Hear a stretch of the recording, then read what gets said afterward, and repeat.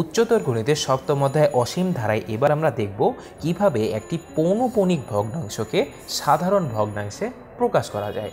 আচ্ছা পৌনপণিক ভগ্নাংশকে সাধারণ ভগ্নাংশে প্রকাশ করার আগে আসো আমরা জেনে নিই আসলে পৌনপণিক দশমিকটা কী।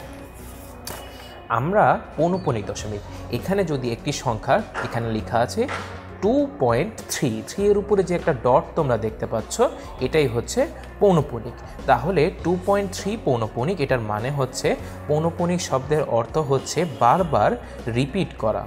আচ্ছা তাহলে এই পৌনপণিকটা কি করবে? এই পৌনপণিকের কারণে টু পয়েন্ট থ্রি হচ্ছে বারবার রিপিট করবে। রিপিট করতে করতে এখানে এটা কোথায় গিয়ে যে শেষ হবে, এটার কোনো সমাপ্ত নাই।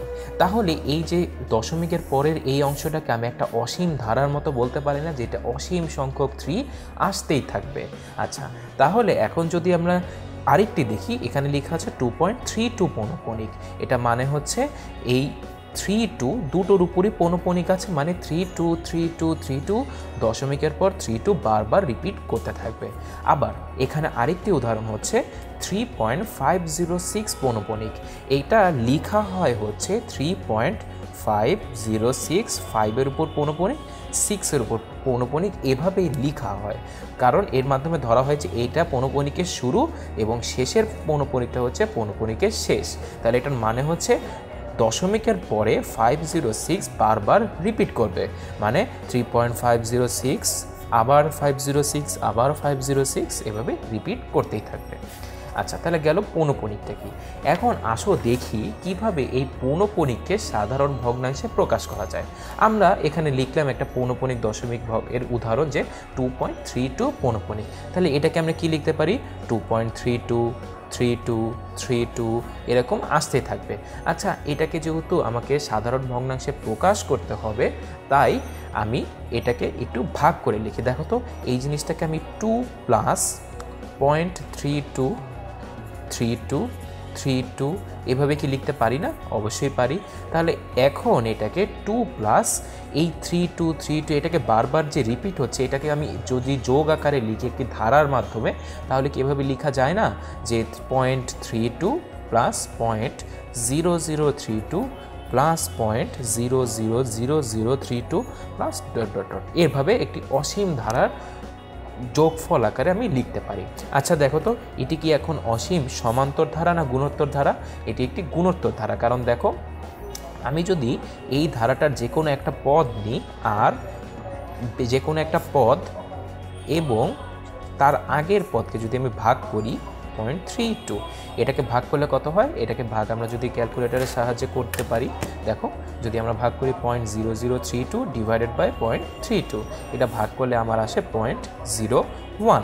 Point zero one, এটা হচ্ছে এই গুণোত্তর ধারাটার সাধারণ অনুপাত। তাহলে দেখো তো, এই পয়েন্ট জিরো ওয়ানটা কি?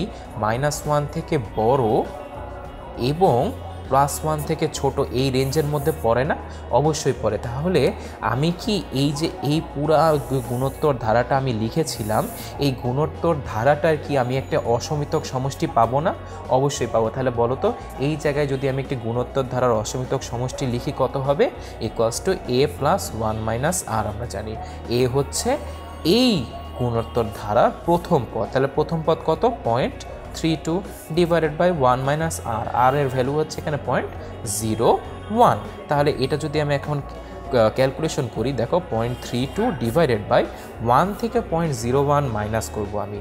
ওয়ান থেকে পয়েন্ট জিরো ওয়ান আমি যদি মাইনাস করি তখন দেখো এখানে আসলো কত? পয়েন্ট নাইন নাইন এখন আমি যদি point three two divided by point nine nine এটা ভাগ করি, তখন কত আসবে? এই যে দেখো point three two three two three two এরকমই আসবে।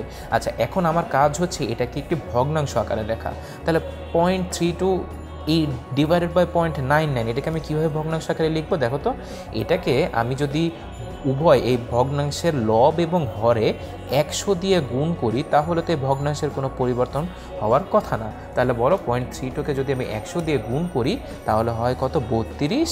আর এই পয়েন্ট নাইন নাইনকে যদি আমি একশো দিয়ে গুণ করি, তাহলে হয় নাইনটি নাইন তাহলে দেখো তো, আমি এই two point three two পৌনপণিকটাকে two plus thirty two divided by ninety nine এভাবে কি লিখতে পারি না? অবশ্যই পারি। তাহলে এখন আমি যদি একটু যোগ করি, এটা হচ্ছে নাইনটি নাইন হচ্ছে তোমার লসাগু। তাহলে বলো টু ইন্টু নাইনটি নাইন মানে one ninety eight one ninety eight plus thirty two equals to কত হয়? One ninety eight one ninety eight plus thirty two এটা হবে two thirty two thirty divided by ninety nine এটা হচ্ছে আমার two point three two পৌনপণিকের সাধারণ ভগ্নাংশ